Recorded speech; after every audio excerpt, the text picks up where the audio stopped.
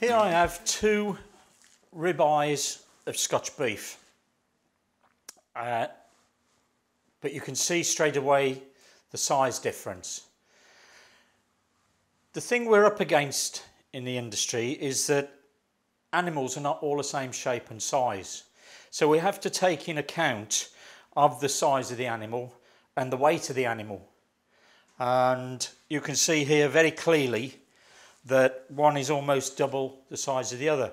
So if we were to specify 8 or 10 ounce steaks from these, we would be getting a much smaller but thicker steak compared to a much larger and thinner.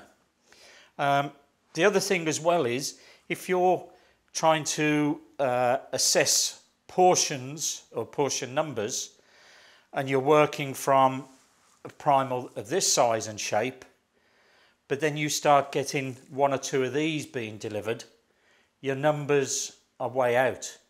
So it's important when specifying a primal joint like the, the ribeye that you use a weight or size in that specification to work from.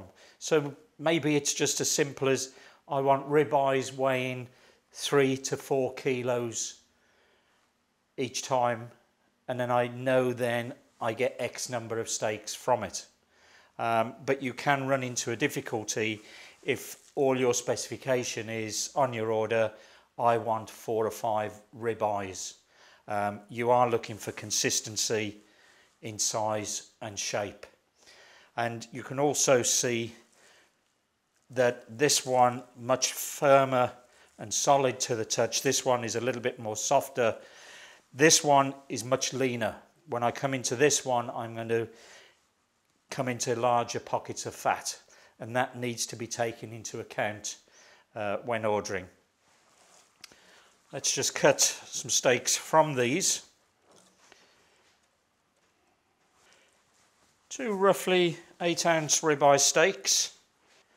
But again, a great visual difference, which you can see from two very distinct ribeyes.